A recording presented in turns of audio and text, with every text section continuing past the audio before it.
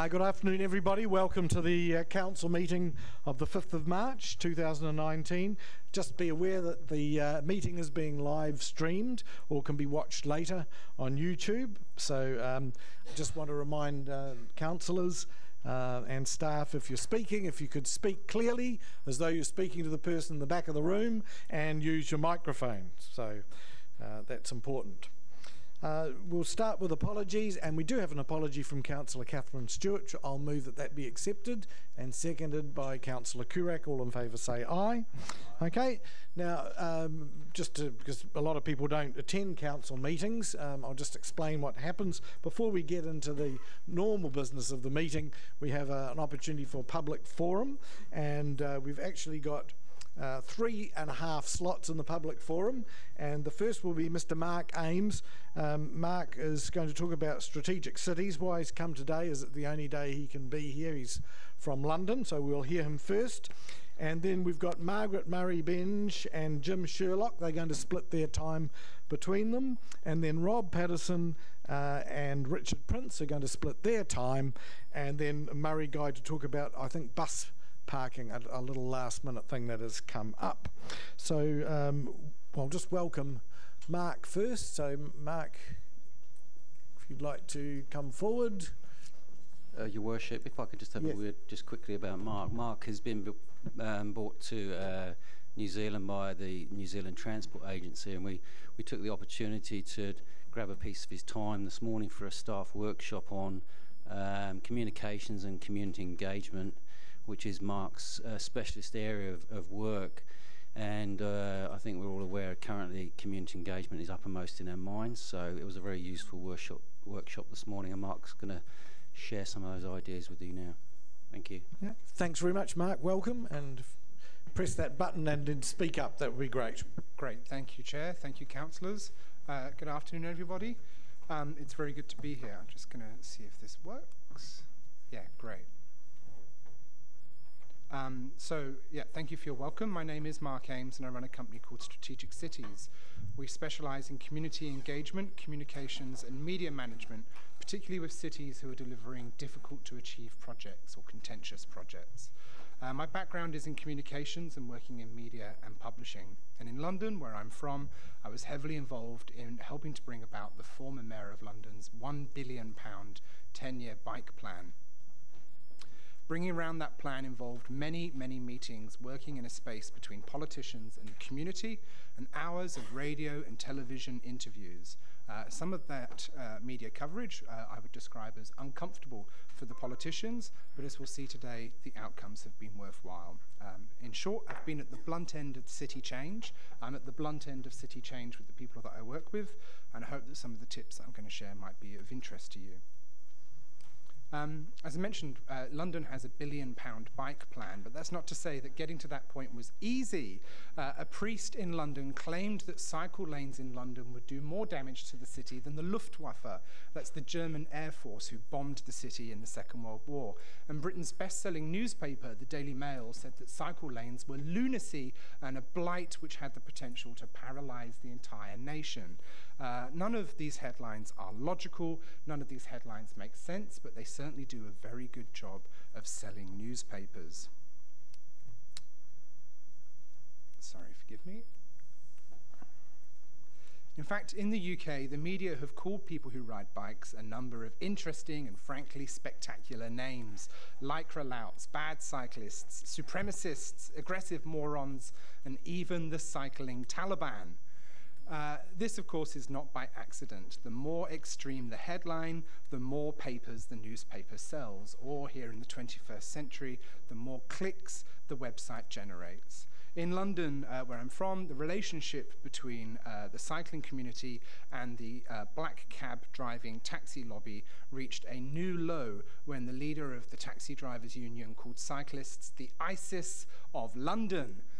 That's not particularly nice, quite frankly, uh, but by coming out with such a shocking statement, the person, the union leader who was opposed to plans for progress, was knew that he was most likely to attract attention and generate headlines. This is how headlines about the projects that you're doing also happen.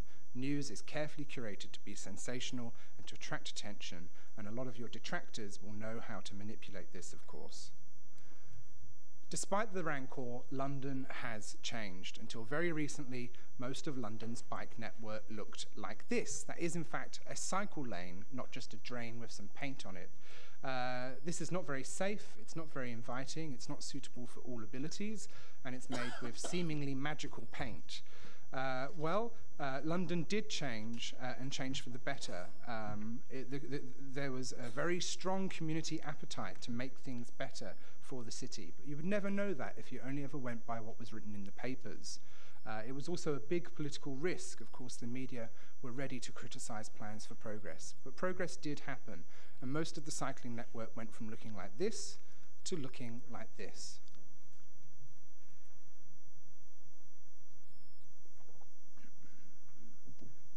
London was only able to achieve such a radical change by having an exceptional public discussion about the role of the city streets and what the community wanted from the city in the future. That public discussion included a lot of media coverage, and I know that it's scary when the media and people start talking about your work in the press. But without that conversation, this change would not have been possible at all. London is not alone uh, in making big, bold, and positive changes for its public space. Uh, on the left, you might recognize Times Square in New York, and they do say if you can make it there, you can make it anywhere. Uh, on the left, you can see Times Square before, and on the right, you can see Times Square after. In the before photo, uh, it's a very large, wide, noisy, and busy road with a lot of vehicles being put through. On the right, that road has been closed and the space has been turned over to the use of people. Uh, the mayor of New York, uh, the former mayor of New York, Michael Bloomberg, uh, when he proposed this project, he was accused of jeopardizing the financial security of the city. Uh, and the newspapers even went on to say that this project threatened New York's ability to operate as a functioning center of business. That is to say, the reactionaries were very vocal indeed. Well, I'm glad to tell you that since the trial, which you can see on the right, was made permanent, vacancy rates in surrounding buildings have dropped, footfall has increased, spending has increased, rental yields have also increased. Uh, this woman that you can see is the former mayor's uh, transportation commissioner. Her name is Janette. Uh, and she uh, really defined this phenomenon that you see in the media of a, a, backlash against progress. And she's responsible for pedestrianising Times Square and building many bike lanes in New York, so she certainly knows. And she said, anytime you take on the status quo, it's going to be a fight, and the status quo is going to push back hard. I think what she's trying to tell us is that it's, it's, it's to be expected to experience some noise when you're enacting change. And she was speaking from very bitter experience. Now, I know what you're thinking. You're looking at these people waving placards and thinking, this is why I keep away from trying to rock the boat and making uh, exciting changes. But as we've seen, uh, actually making changes can result in really, really exciting outcomes. Forgive me, how much time do I have, Chair? Great, thank you. All right. Uh, this is a favorite quote of mine from the famous sociologist Erving Goffman. He said, Individuals go along with current interaction arrangements for a wide variety of reasons, and one cannot read from their apparent tacit support of an arrangement that they would, for example, resent or resist change. Behind community and consensus are mixed motive games. I think what Goffman is telling us is that just because citizens aren't necessarily knocking on your door to ask for change, it doesn't necessarily mean that they don't want it. When communities are faced with a new idea, that new idea isn't accepted all at once. Uh, and there's a model from a behavior change specialist called Alan AtKisson, uh, which demonstrates how that works. He calls it the behavior change amoeba. You remember amoebas are little cellular organisms floating around uh, looking for food, and they opportunistically reach out for something and latch onto it. And if they're successful, they pull the rest of the amoeba with them.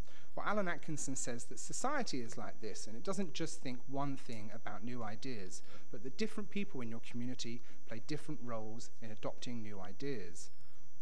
So, on one side, you have early adopters, change agents, and transformers, people who are out there embracing new ideas, and they're pulling the mainstreamers and the quiet recluses with them. These people are your thought leaders, your experts, the people who bless new ways of doing things. They might be the mum doing the school run who is the first to turn up with their kids in a cargo bike instead of an SUV.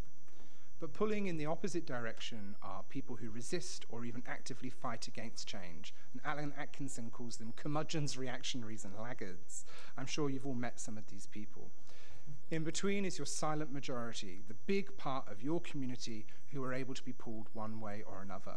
Those people are very easily swayed by word of mouth within your community, but also by the media and the people that they see portrayed in it.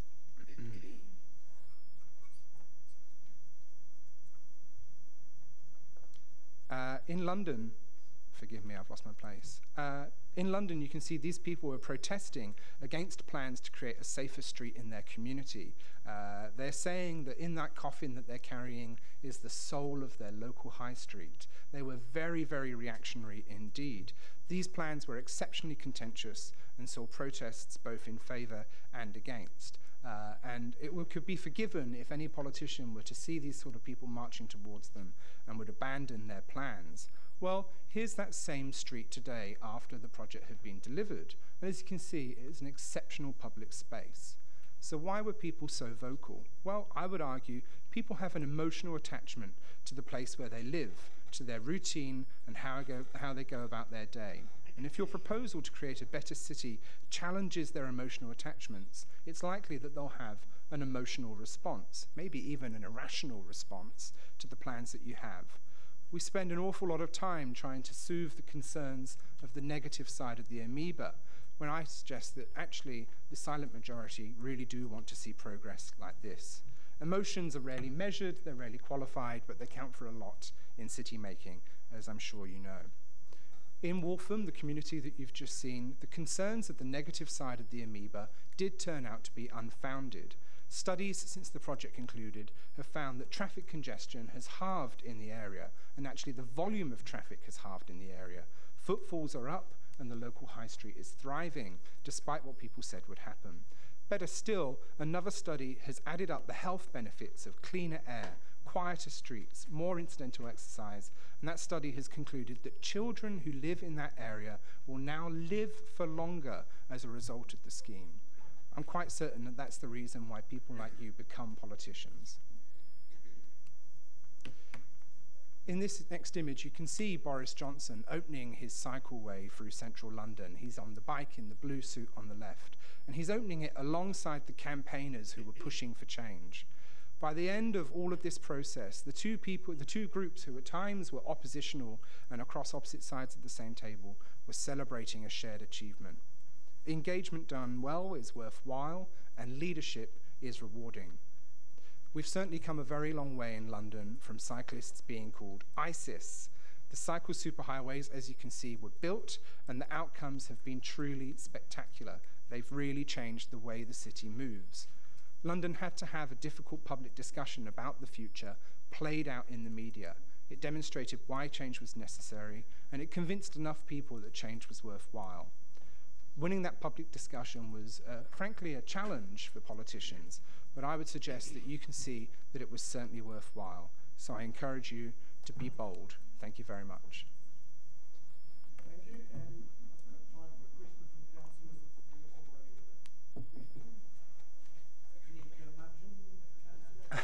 councillors. Surely not, not around this table. Well, thanks, Mark. And I think we found it interesting, and even those people that are here for other topics was an interesting thing to read because I see one or two people interested in transport, like Max Lewis in the audience too. So I would have found that Good interesting as well. So it was a, an unexpected bonus. Thank you. You're welcome. Now we go on to our other speakers in the public forum, and first is going to be Margaret Murray Benge and Jim Sherlock. So if you'd like to come forward.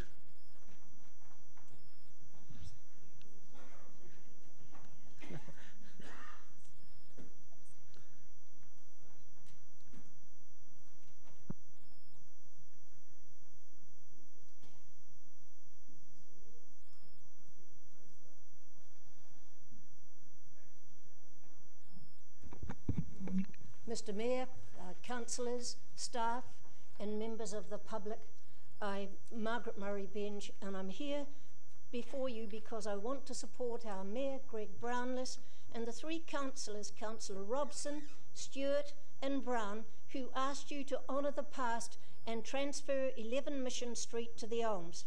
That was the original intention when that property was purchased by Tauranga Council in 2009. I may have that date wrong, but it's some time ago now. It was quite explicitly understood at that time that 11 Mission Street would be transferred to the Elms, but the transfer was never actioned. And uh, former councillor Bill Faulkner is here, and he can tell you that under Stuart Crosby's leadership, the instruction was signed off to Mr. Poole to tell him to action that transfer, and it never occurred. I couldn't get it um, any information as to that, but councillors, I do recommend that you look for it. I've asked myself, in light of this present debate, why anyone should care what you decide, but the answer is clear. The Elms is an historical living treasure that is unique to the whole of New Zealand, not just Tauranga. Previous mayors and councillors have acknowledged this national treasure and I have supported its and have supported its survival and maintenance and invested accordingly. When Reverend Brown settled here with his family, even before the treaty was signed, his family endured major traumas, but they never gave up on their vision to create a centre where everyone was welcomed in peace. So began in harmony European culture being shared with local Maori. The Elms is still a living museum loved by all those, young and older, of every race and culture.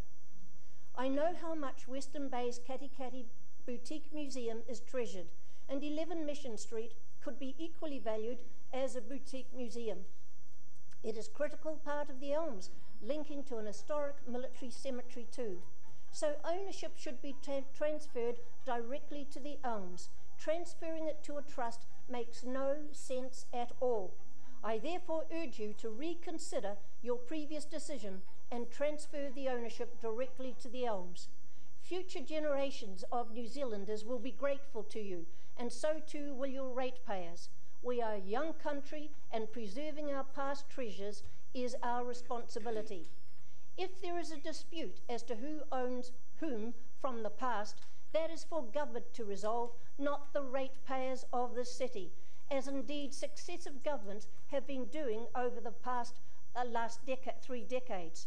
It is totally inappropriate for ratepayers to take on the responsibility of providing compensation for the alleged sins of the past. For the sake of the memory of Reverend Brown and his family, and for the sake of today's ratepayers in Tauranga City, it is imperative that you councillors use your common sense and transfer the ownership of 11 Mission Street to the Elms without delay. That was the intention in 2009. We should not wait, we should wait no longer.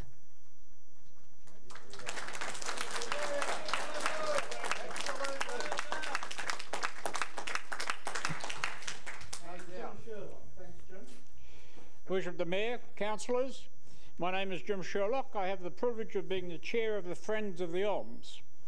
The Friends of the Elms was established 20 years ago with the purpose of to create public awareness of the Elms and support the aims and objectives of the Elms Foundation. Since 1999, the Friends have held numerous fundraising events and contributed tens of thousands of dollars to repairs and improvements. The latest was the automated watering system of the Elms Garden. The Friends are still active community group as demonstrated by many of our members here today. Land ownership. The 30th of October 1838, 30 acres of land was purchased by a deed of sale, the Te Papa Block 1. And I quote, Known all men by this deed, we the Rangatira of Tauranga do let go and sell to Reverend A.N. Brown, Tiparana, on behalf of the Church Missionary Society and to their heirs and assignees forever, the land that belongs to our fathers and us also. We have received 20 blankets, 10 spades, 10 adzes, 10 axes, 10 hoes, and 10 iron pots. The document was signed by 17 Rangatira and witnessed by James Stark for the 30 acres of land, which was then the northern tip of the peninsula. Reverend Brown bought that land, and in his words, it was a treeless waste of fern. 22nd of July 1873, Reverend Brown wrote, I have purchased from the Society the spot where I have no so long laboured, thus securing for myself and my wife a delightful home amidst the constant changes which civilization is making around us. He paid £1,452 and 10 shillings for the 17 acres, which bounded in the north by the high tide mark, on the south by Brown Street, on the west by Chapel Street, and in the east by the harbour. That land was purchased from him. The Friends want to thank the, the Tauranga City Council for their initial half million dollars back in 1998.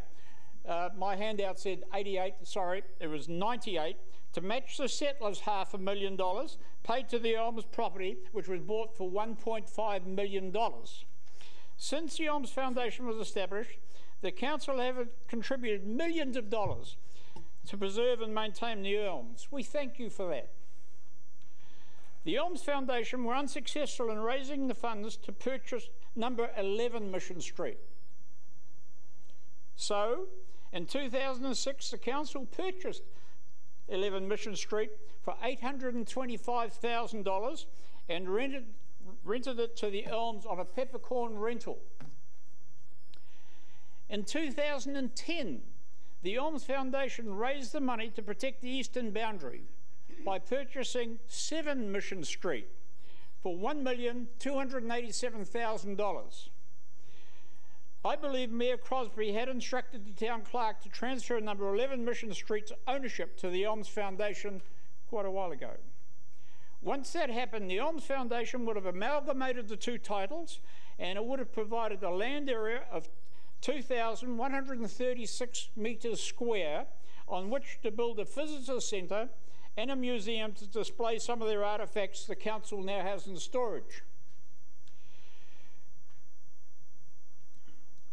In December 2018, the council voted to transfer the ownership of 11 Mission Street to the Otamataha Trust. I personally have not been able to find any detailed information on the Otamataha Trust. Question Why would councillors Molloy, Baldock, Mason, Clout, Grainger, Morris, and Creech want to give 11 Mission Street, that important piece of land, to any other entity except the Elms Foundation? As it would make it very difficult to establish a, a museum in that historic precinct. I did supply the councillors with a map showing you how that piece of land would cut off the $1.287 million purchase without council money, I might add, which the foundation bought and, and cut it off as a separate piece of land. You must join it up, gentlemen. And I believe this is, an, this is a decision you've got to make, and those who make the right decision can be sure to be back here at the next election. Yeah.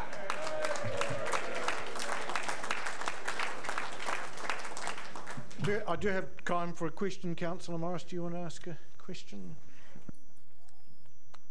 I'll speak up as the uh, microphone's not. We'll try it. We'll try it. Turn it off. Push it, John. There we go. Is it working now? Okay. Look, I'd, first I'd just point out that it's not just gentlemen around the table. We've got Councillor Leanne Brown. Um, secondly, uh, Councillor Murray Benge, if I can just um, refer to the first paragraph of your statement today.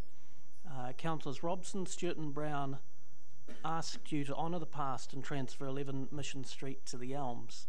Um, looking through the minutes, uh, my recollection of the meetings, uh, I haven't come across an occurrence where uh, all of those councillors have asked us to do that. I do recall the Mayor's statement at the meeting where uh, he did support transfer to 11 uh, of 11 Mission Street to the Elms, but I, I cannot think of a statement um, by councillors Robson, Stewart and Brown uh, that say that we should do that. Yeah, would, would you like to clarify that point, please? Yes, I would. Looking at the minutes, it was interesting to note that there was all sorts of amendments flowing around in your agenda, but at the end of the day, the people who voted against what you were doing, what you were doing, was in fact the ones that I have acknowledged. And their, their votes are recorded there, and they have put their seals in place, and that's why I acknowledge them. Uh, do you not consider there, there are five resolutions above uh, the resolution at the bottom of the page in which some of the councillors you have listed have supported the action? So do you think that in hindsight you should have perhaps looked, uh, and I appreciate as a member of the public, and you, you've also got a day job as well, it can be uh, tiresome to sort of follow council processes, but do you think that perhaps um, yourself and others should have looked at the five resolutions above?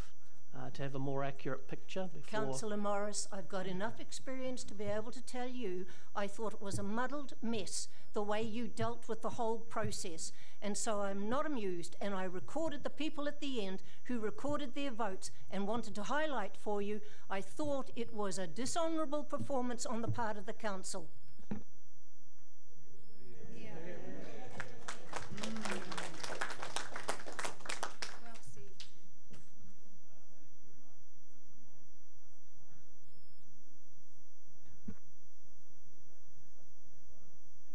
Margaret, for coming in.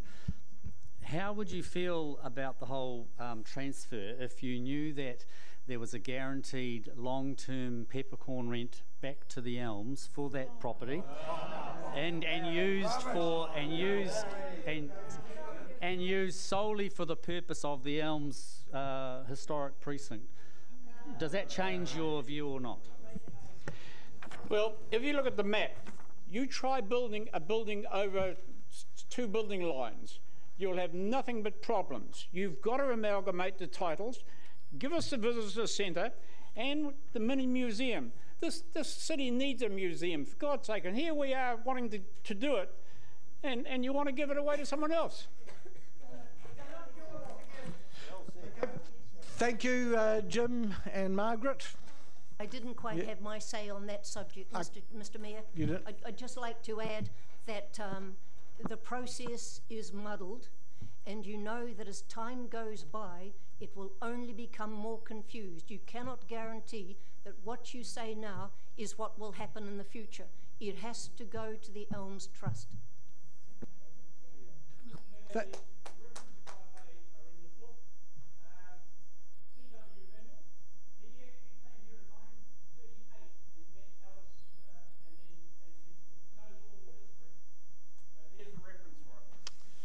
Okay, thank you, Margaret and Jim. And now, uh, Rob Patterson and Richard Prince.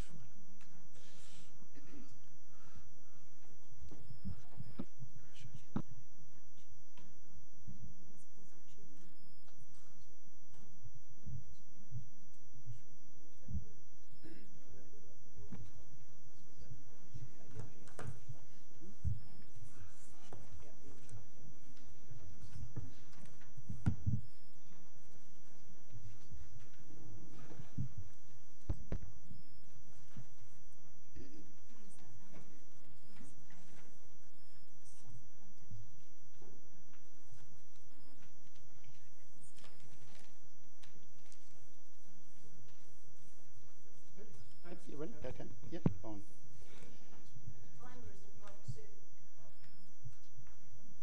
Okay. This, this relates to the Elms issues and it relates to 11 Mission Street, basically on behalf of ratepayers. For the record, my name is Rob Patterson and I am authorised by Citizens Advocacy Tauranga Society Incorporated, known as CAT, to make this presentation on its behalf. Mr Chairman and Councillors, thank you for agreeing uh, to hear my address. CAT was established in March 2006, incorporated in 2009, to represent the viewpoint of all citizens, both residents and ratepayers, to the Tauranga City Council, where issues of public concern arise, and in the case of question, uh, question here, the publicly um, funded ELMS is not just some bauble to be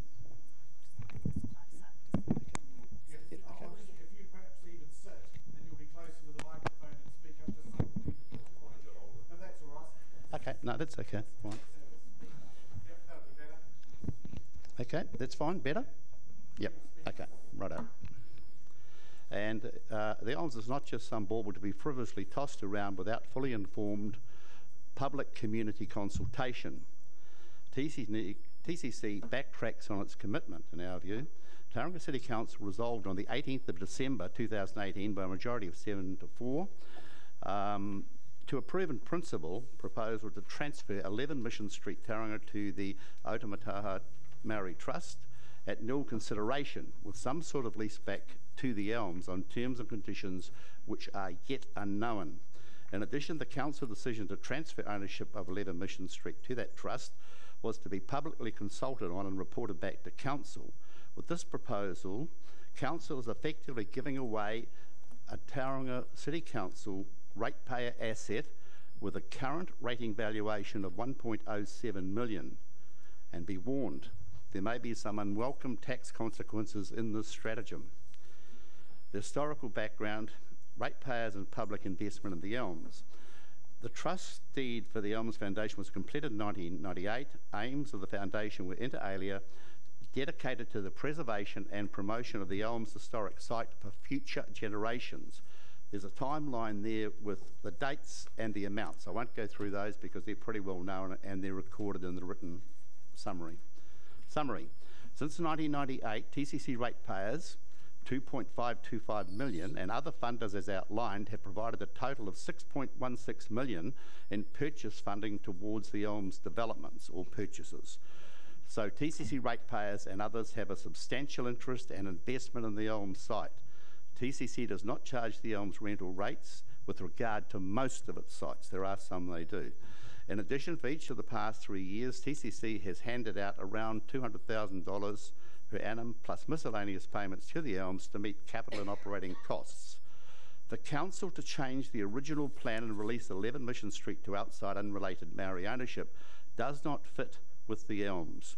And in our opinion, this conflicts with any future plan, and in particular the 2011 master plan for the Elms, as it reneges on promises to the Elms. All this for no good valid reason, in our opinion. Cutting out this property will break the squaring of the boundaries, which was came about with number seven being purchased, impede the site development, and stymies amalgamation of the various sites because of fractured ownership. The proposed gifting to Otamataha Trust will create a precedent, as John Robson expressed, for further claims on TCC land by Maori, particularly as they have, for some reason, think they have unresolved interests in the Te Papa block from Gate Pā Reserve to Sulphur Point. On the 11th of January 2019, a LGOIMA request was made to TCC in relation to an RMA application made by the Elms in early 2018 to develop the whole site.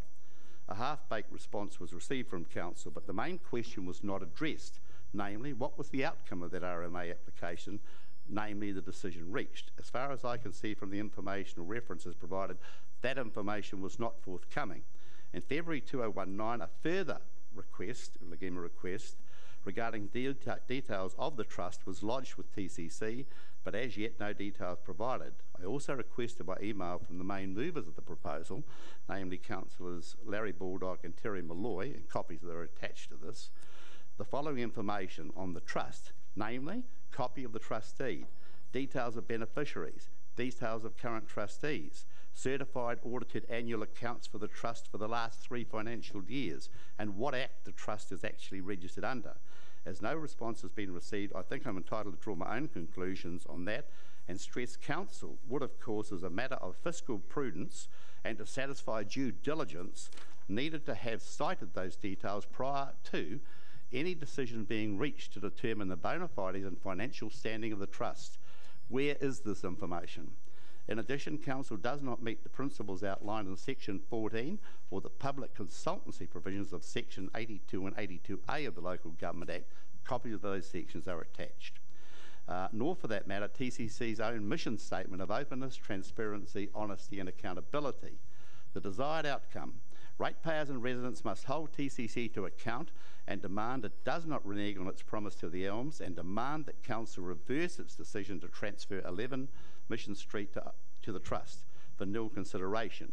In addition, Council must hold meaningful public consultation, then, if appropriate, transfer the site to the Elms in line with the TCC original publicly stated intention. TCC should be protecting ratepayer assets, not gifting them to some entity whose wants may not align with the Elms ethos. Transparency demands that any proposal be available for public scrutiny.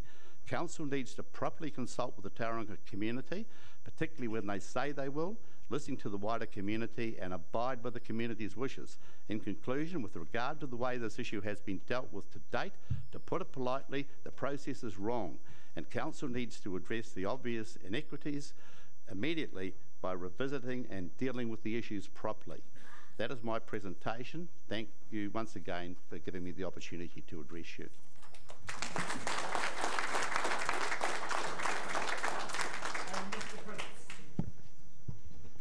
Uh, thank you very much. Um, I hope you can hear me all right. I speak perhaps a little louder than Mr. Patterson does. Now, there is some good news. The good news is that I am not proposing to discuss the history of Tauranga from the first waka. So that should shorten our time back dramatically. Um, as has already been said, 11 Mission Street was purchased with the clear intention an expressed intent for it to be transferred to the Elms Foundation. The substantive proposal that comes from Council is that it be gifted to the Otamataha Trust without, it seems, any thought to the consequences. Looking, for example, at the proposed idea of the lease, we have such comments in here from the elected members that it must, uh, what is it, if the land was to be transferred to the trust, should not then minimise their mana by imposing restrictions. And then we're going to have a so called three way deal. And I wonder whether does this mean we're going to all stand around holding hands, singing kumbaya? It doesn't work that way, councillors. I have a background in land contracts and leases, property leases. And I do not remember any time somebody saying to me, uh, This is Bob Jones we're talking about, we have to consider his mana. In fact, I wasn't sure whether Bob actually had too much mana, but there you go. Um, question of precedent. Of course, this will create a precedent. And so will the actions recently of the somewhat grovelling uh, apology and mea culpas from the Anglican Church. These I simply couldn't believe. And it was enough to make me decide I should become a Catholic. What we have seen there from the church is not that the church proposes to provide compensation as they suggest should exist, but the council, i.e., the ratepayers of Tauranga, provide compensation. Their proposal, for those that don't know, is that the Cliff Road site be transferred to Maori interest and that the council, the ratepayers, should be paying for the building of a marae there. I suggest to the Anglican Church that perhaps they could consider the transfer of their beautiful building down there on Devonport Road, seeing that they are the ones that seem to think there's a problem. What we are seeing here is, a, is the litany of disasters that have beset this council. We have seen Bella Vista, falling down the hillside. And this is going to cost millions of dollars. We have seen what uh, we will see, certainly see the millions of dollars that the Cayman is going to uh, cost ratepayers. Yesterday, after talking with Councillor Morris, and I must say, Councillor, we must stop meeting this way, people might start talking. I began to wonder about a lot of things. I went down to have a look at the circling birds. I never could have believed how much concrete must cost these days. Since I used the stuff, it must have gone up a thousand to two thousand percent. The the problem also with the circling birds is the council had the bright idea that they would hold consultation after the decision is made. Do you feel that there is a kind of deja vu with this proposal on the Elms. The vote has been taken. And now we're talking about having consultation. How does that work? Has the council got the courage to do what is right? Revoke the accepted motion, return to the status quo ante, and gift 11 Mission Street to the Elms Foundation, as was the reasonable, as was the original consent, without consultation. And the reason I say without consultation is that any consultation is to, will be now contaminated by the miasma of predetermination and bias. This is nothing more than grand gestures with other people's money, and in this case, ratepayers. It is time for Council to look to their errors and correct them. Thank you for your time.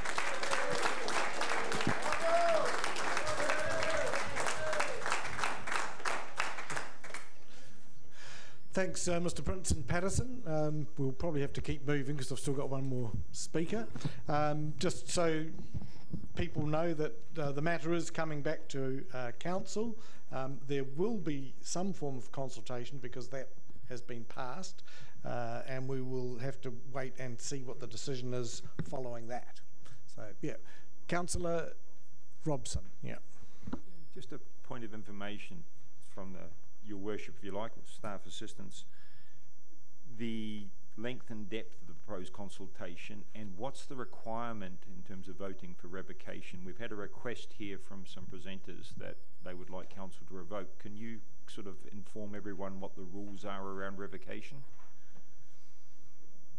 So revocation and what's the length and depth of the proposed consultation? This is just to, to put, you know, what we're doing in the public domain. Amy, are you here able to speak to that? Yes, I'm here. Through the chair, uh, Amy Driscoll, Communications Manager. Thanks. We are looking at the consultation and talking to groups.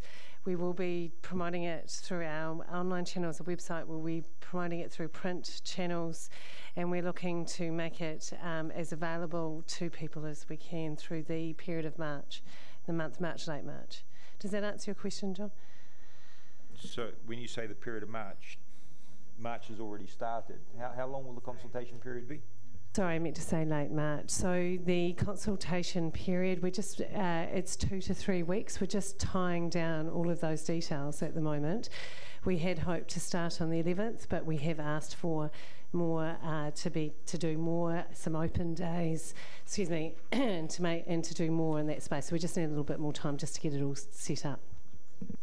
Thank you. Just a request to the Mayor that if the um, people speaking the forum today, if when we've decided what we're doing and what form, shape, time, investment we're making in consultation, if that could be communicated to those people that have spoken in the forum. And my second question is, what are the requirements with regard to revocation?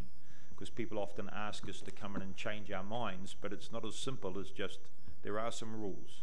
If it's to be revoked at the same meeting, it's 75% of the members. But in fact, uh, if it's at a subsequent meeting, it simply could be on the receipt of a report by majority decision.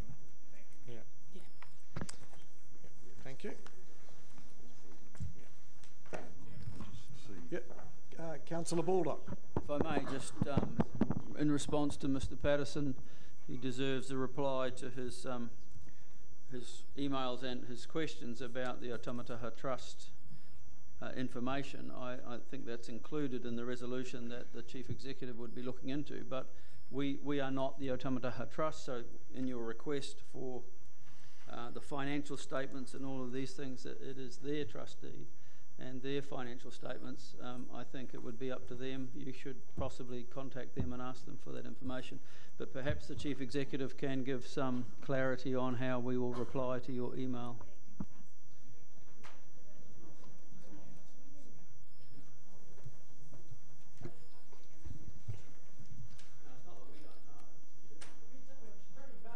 We'll, we'll, through you, Your Worship, uh, we'll provide the information we have and that it is appropriate for us to provide. If it's not our information, it may well not be appropriate for us to provide that. And if that's the case, we'll refer them to the respective agency or organisation that has the information. But either way, it is the subject of, of further report to council. In fact, if you read the, the resolution carefully, it still has to come back to council. So there is that opportunity. Thanks very much to the submitters. I, I have some uh, copies of my submission here. Okay. And they could be handed around. Thank you. Thank you. Thanks to the submitters and thank you to those that have come along to support them. Uh, you're welcome to stay for the rest of the scintillating council meeting, or if you uh, have other things to do, you're also um, you, know, you may leave at any time. Thank you. Now, just got. Now we've got Murray Guy next. So, and I think it's bus matters, but you can tell us, Murray. Maybe just wait a minute or two because yeah. they're a bit noisy there at the moment. Okay, look, thank you very much. Um, that's, that's going. Thank you very much, Greg. Uh, Your Worship, I hadn't intended to speak today, as you know, but unfortunately, a councillor that was going to just raise a couple of questions was unable to be here today due to health. So if I could just touch briefly, though, on a couple of the submitters, I won't go into any arguments, but certainly some of what they said most of what they said concurs with my own recollection as a former councillor in regards to the provision of funding for the benefit of the elms. And I don't think it's common sense that's required. It's integrity to the process. So on that, I can't help but think of, it's not a president, by the way, March, when was it, uh, Marsh Street and the um, Chapel Street, sorry, I think probably said a president with the, uh, basically the gifting of the, uh, the mobile service station. So today, anyway, Mr. Uh, Mr. Mayor, I just wanted to raise briefly because you've got some uh, matters relating to transport in your agenda, and I wanted to know if the elected members were aware that, to my understanding, there is not the provision of one tour coach park. Now, what, what I mean by that is if I choose to bring my tourists to, say, for example, the art gallery off the cruise ship, I can't. There's, there's no provision of parking. My, my tourists are mainly elderly. Some of them have transport, uh, sorry, mobility issues. Uh, many of them expect me to remain with them because I'm their host, tour guide, and driver. So I'm just creating that awareness. Correct me if I'm wrong, uh, Martin. In fact, you might answer the question Is there one dedicated tour coach park in the city for the provision of enhancing tourism? Oh, oh so I'll carry on. So yeah, you can perhaps answer that. Um, it's highlighted also, Your Worship, by the fact that this afternoon I have a pickup, for example, at Trinity um, Hotel on Dive Crescent. Now, it strikes me somewhat strange because it's, we're there quite regular, but unfortunately, we can't pick up or drop off our passengers. Um, we've got four coaches there this afternoon, um, in a legal and or safe fashion because there is no provision for parking within the confines of the hotel. Neither is there provision for parking. So I'd just like to make a suggestion to Mr Parkes and his team and the councillors if they would revisit or at least visit the provision of coach parking so that I can support the art gallery and other initiatives, be it Cliff Road, the Elms, reasonably handy to the city would be in fact adjacent Trinity Hotel on the northern side. So just on that. Now, as part of our tour coach cruises, uh, tours, sorry, some of the tours include a visit to our waka. You been there, Kelvin? Don't go out in it, mate. About three years ago, I made an offer, Mr. Mayor, to help relocate the waka because it was in the shadows, it's rotting, and it's such a travesty. So at the time they were redoing Dive Crescent, you'll recall spending some millions, and I saw down there the temporary placement of the Waka being an ideal um, opportunity for the cruise ships and get it out into the sun. At the time, um, it was an informal offer, but I was certainly very sincere. Um, I think it was Councillor Morris responded to me, look, I've, I've, raised the matter with staff, but they are going to maintain and enhance the Waka, carry out repairs to it by lifting the sides and have an interactive type of arrangement with the tourists. And he's nodding to concur. So that was three years ago, 2015. Here I am today, Mr Mayor and councillors. There has been not one dot of work done to that Waka in that time frame. And I can't for the life of me understand why, because some of us around this table and in this room are espousing the virtues of having a, having a museum, somewhere we can display our history, be proud of our culture, and all that type of stuff. So my dad would have said to me, listen, mate, you demonstrate that you give a damn about what you've already got, and then we'll revisit stuff into the future. So I'm just imploring you, gentlemen, ladies, start looking at the waka, ask some questions. Why is it rotting down there along with the shelter? Um, just have a quick look at my extensive notes here, Your Worship, very quickly. And I think that is about. Hey, just a quick note, guys. Give a grant of 500,000 to the Papamoa Surf Life Saving Club, which is out there adding value and saving lives, and you might consider transferring that 500 from the eyesight, where you've uh, budgeted 4 million. Thank you very much. Yeah, you know, we have given a grant of around that amount to Papamoa Surf Life Saving. Yeah, yeah. so- Give them another 500. Yeah, Uh, yeah. Yep. Now, uh, Councillor Baldock has a question and then Um, Mr. Guy, um, just have to correct one little thing you've said, which is rather a large thing. We, we didn't gift the mobile site to um, to iwi. It, they purchased it back Yes. because of a promise I think you were involved in in 2005 when we needed to swap land for the second Harbour Bridge crossing. So it took a long time for that promise to be fulfilled, but it wasn't a gift. They purchased it, uh, and uh, and that's quite a different scenario. Just for your Okay. information. Probably not a hell of a good question or a comment to make to me because I have absolutely zero recollection of any such agreement. And Mr Mayor, the community and the councillors might be aware that it was an NZTA project. And if as part of the NZTA project required additional land, my understanding of the Treaty of Waitangi and related issues was that it would have been the NZTA that was obliged to ensure affected parties were compensated, not the ratepayers. But again, I don't remember any of that discussion. No, but provide me with the minutes of the meeting, Mr Baldock, and I'll certainly apologise and um, perhaps even clean your shoes. That's it. Thank you, Greg. Appreciate the time. Uh, uh, I mean, there, there, are stops around. We haven't got any debt. Yeah, I was just about to say that. I was just uh, say we, we, we haven't got any dedicated tourist stops, but I would encourage you to email me. You've got my email address, so and give me a list of sites you're interested in. I'll get my team to have a look at them, see what's possible. Okay. I imagine then we'll hear from people who don't want to lose car parks for it. But however, we'll we'll see. you can't win sometimes. Thanks, Murray, and uh, that concludes the the uh, forum. Okay, so any acceptance of late items? No. Uh, confidential business to be transferred into the open. I think it's any change to the order of business. And we'll go on to the minutes.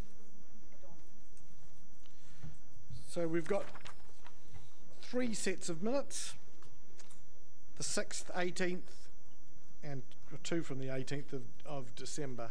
So three sets. I'll take any. Oh, sorry. Yeah, I've missed the. My eyesight's a bit shot. So it's two from December and one from February. If you want to. Yeah, any changes, Councillor Brown?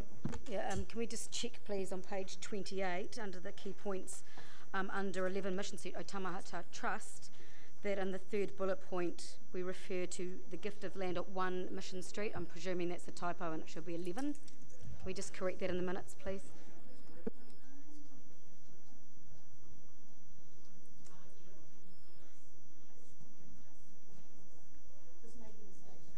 A mover and seconder. Uh, it's moved by Councillor Clout, seconded by Councillor Morris. All those in favour say aye. Against, so that's carried. And then, after a, a large piece of work uh, from Community and Culture Committee, um, oh, I forgot the conflicts of interest. Any conflicts of interest in the open section? Nope. Okay, recommendations from other committees. And Councillor Molloy, uh, would you like to present the recommendations when they've been fairly thoroughly debated at your committee?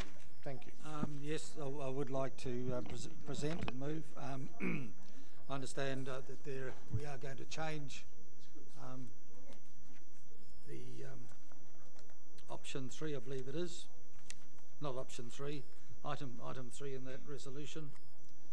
Do we have that change uh, that we can put up on the?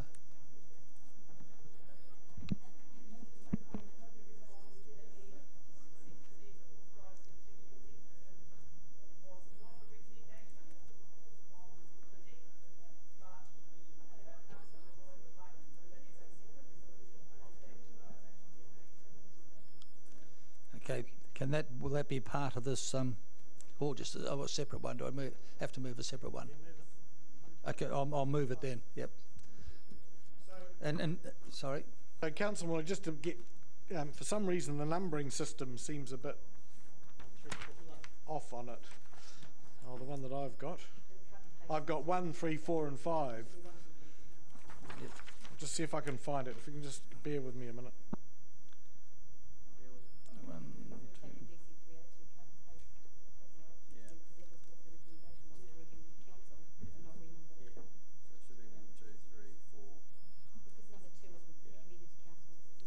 One, two. One four. Okay, so uh, if C- Councillor Molloy, I guess you'll be uh, uh, moving what is down as count uh, as recommendation one, four, and five, which will be then renumbered, and then separately, you'll move a new resolution to authorise the chief executive to make further minor drafting or presentation amendments. Is that all right? Correct, yes. Okay, so you'll move what's written down in our agenda as one, four, and five. So we've got a seconder for that. Yes, that's why we, that was not in the original thing, that's why we have to do it separately. Number three was not in the original draft, yeah. So we've split it out. Okay, so seconded by councillor Brown. Okay, and do you want to speak to it any further? No, well, It was a big job. The, yeah. two of them, just to thank the staff very much for the work they've done. It was a, an incredible piece of work and took some time. Um, and it was thoroughly worked through. And uh, yeah, just very much appreciate what's happened and and uh, move it. Yeah, look, the, the substantive motion, as a matter of fact, just about everything in the policy I'm comfortable with, but I would like and I will be voting for the motion as long as I can put on record my concerns with regard to discussions around badminton and Tatua Reserve. So if we can have that on record somewhere, it's obviously now on record, it's on the audio. um, so I'm happy to support the motion, I just want that written in the minutes somewhere, my reservations with regard to that discussion. Uh, with your indulgence, uh, Mr Mayor, question to the Chief Executive or anyone else appropriate. Um, what discussions have been held uh, with Bay Venues Limited regarding badminton? So I met with uh, the chief executive of BVL the day following the the, the meeting, uh, and discussed the the opportunity for the badminton hall to be sited on the Bay Park site, um, and he was open to that. And uh, Mark Smith may well be able to give us an update on how those discussions are going. Good afternoon, through the chair. So, after the chief executive spoke with Gary Dawson, I went to meet with Gary Dawson. I met with his staff. We've got a small working group together from council staff, and we'll look at a number of options, um, do some analysis or pros and cons of each one of those, maybe four or five sites on the Bay Venues lease area, and then bring something back about what is best and what is not. Just in relationship to Councillor Robson's request to have his reasons noted, there was an incident in the minutes which I actually was going to bring up at the time, but we flicked over it. Um, but on page 34, he he requested the same thing to be recorded, his reasons, his concerns about uh, a resolution, and I'm not sure that there is provision. If all elected members started asking for their reasons for voting yes or no to be recorded in the minutes, they would become very long indeed. That's the purpose of the debate we have, where we where we outline our reasons for why we vote. So I'm just not sure that that should be allowed as a standard practice here to have these things noted. Point of clarification, Your Worship, I didn't ask for my reasons to be recorded, I just asked for my concern to be recorded. That's very different. Concern is a seven letter word which doesn't occupy too much space in any minutes. The list of my reasons are manifold and could take pages. Okay, well, it will, there will be a general comment about concerns in the minutes, which I think will be fine. Yep. Thank you. Speaking to the uh, motion, Your Worship, no, I'm grateful to uh, the Chief Executive and staff for engaging with Bay Venues and having that conversation. It was something that uh, a number of colleagues expressed concern about. Some were comfortable with the Tatua Reserve or uh, rather the Soper Reserve. Um, but that conversation um, was important, and I thank them for doing that.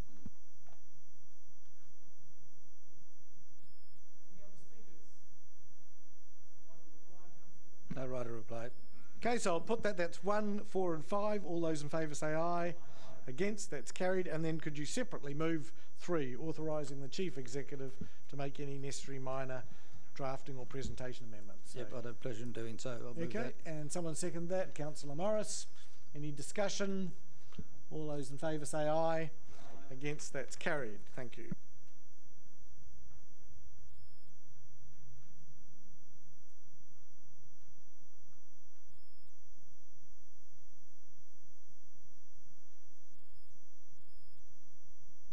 And then now we've got uh, DC 22 Bay Venues, CBD Recreation and Le- Leisure Hub. So who's going to speak to that?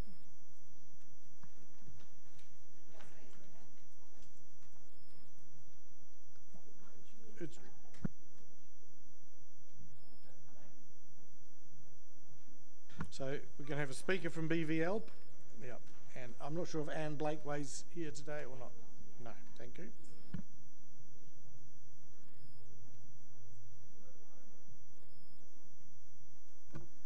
BVL are providing an update today on the progress of a feasibility study uh, by Visitor Solutions um, looking at an aquatic and recreation facility in the CBD. It's expected that the results of the feasibility study will be presented to Council uh, at the end of 2019, um, at, at which point, no doubt, decisions will be made as to whether to continue with the project or not. So, uh, just while we find BVL, um, I just propose adjourning for five minutes. Will uh, allow me a quick break. Anybody else who needs one? Thank you. So, can you press the